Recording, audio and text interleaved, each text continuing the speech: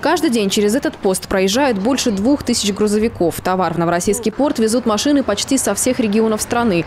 Каждую перед въездом в город взвешивают на вот таких специальных весах. Цифры с точностью до килограмма фиксирует компьютер. Он же подает специалистам сигнал, если КАМАЗ или фура идут с лишними тоннами. На мониторе высвечивается осевая нагрузка транспортного средства и общая масса. Если автомобиль проходит с перегрузом, значит выдается звуковой сигнал о перегрузе. Камеры фиксируют госномер автомобиля, число, месяц и время прохождения транспортного средства через весовую платформу. С перегрузом здесь останавливают почти 10 машин в сутки. Больше положенного вес считается свыше 38 тонн. Впрочем, нарушают правила не только въезжающие, но и выезжающие. За ними тоже установлен контроль. При этом о том, что в кузове автомобиля лишний груз, иногда не догадываются даже сами водители. Сказали на ось загружено больше вроде как. Я же его не грузил контейнер, ну груз я сам. Не могу вам сказать. Как он там загруженный, наперед больше или назад. Какой ущерб дорогам наносят грузовики с перевесом, можно увидеть даже здесь, на посту контроля. Из-за лишних тонн рядом с весами образовалась вот такая асфальтовая колея. Всего за один год на краевых постах весового контроля было остановлено больше 12,5 тысяч автомобилей с перевесом. Это десятки километров разрушенных кубанских дорог и сотни миллионов убытков из бюджета региона. решение этой проблемы сегодня принципиальная задача, считает Александр Ткачев. На краевом совещании с главами районов, мэрами городов и правоохранителями губернатор требует усилить весовой контроль. Кубань сегодня становится полноценным транзитом регионам и через наши морские порты проходит почти половина всех внешторговых грузов России. Ежегодный грузооборот одного только автотранспорта у нас почти 21 миллион тонн. А с началом строительства моста через Керченский пролив интенсивность движения, больше грузов в северо-западной зоне края наверняка вырастет в разы. Конечно же, транспортные перевозки – это существенная статья доходов в бюджет края, но у медали есть и обратная сторона. Мы каждый год несем почти полмиллиарда рублей убытков из-за того, что большие грузы разбивают наши дороги.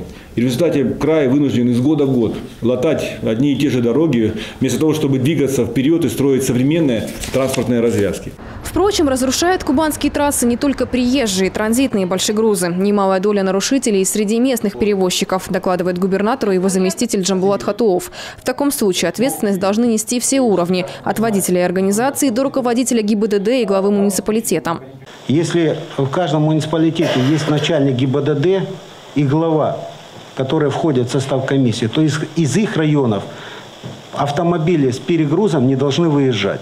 Александр Николаевич, решением комиссии в рамках вашего поручения дано указание в недельный срок провести в каждом муниципалитете встречу со всеми работодателями, со всеми заведующими гаражов, со всеми уполномоченными в целях проведения разъяснительной работы, составить реестр, что все предупреждены о том, что а, перегруз автомобилей, которые выезжают на дороги края федеральные, недопустим. За лишние тонны водитель сегодня может на полгода лишиться прав, а также заплатит две с половиной тысячи рублей. А вот организации, которая отправила машину с перегрузом, придется раскошелиться почти на полмиллиона рублей. Такая разница в штрафах сегодня лазейка для многих перевозчиков, рассказывает начальник Краевого управления ГИБДД.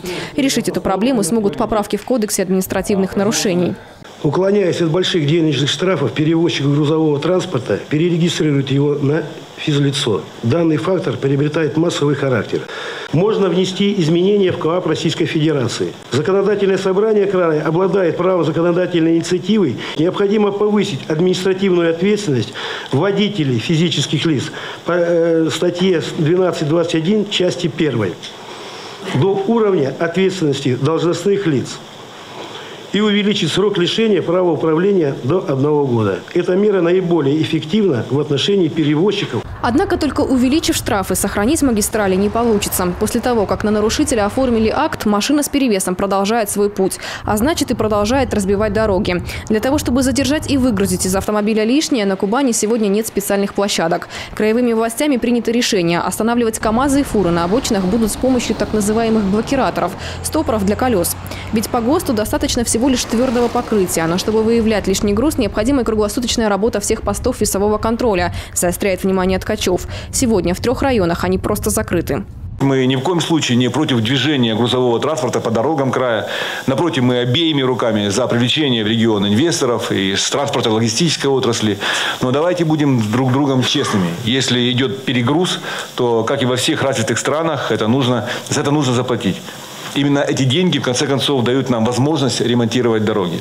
Однако здесь еще одна проблема, и она уже непосредственно относится к нашей с вами работе. О каком, э, скажите, эффективном весовом контроле в крае может идти речь, когда большинство стационарных постов можно легко объехать? Сегодня каждая копейка на счету, тут миллионы рублей утекают сквозь пальцы.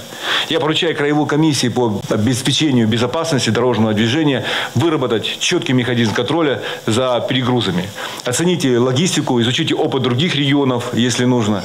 Но уже через две недели конкретные предложения должны лежать у меня на столе. Уже с завтрашнего дня на Кубани стартует месячник по контролю за транспортными перевозками. Работу возобновят шесть стационарных постов. Объехать их у нарушителей не получится, заверяют сотрудники госавтоинспекции. Передвижные пункты взвешивания установят на всех дорогах-дублерах. Мария Крошна, Денис Москаленко, Денис Перец и Антон Калиниченко. Кубань 24.